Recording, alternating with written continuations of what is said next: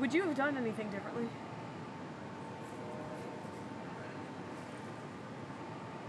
Hey, friend?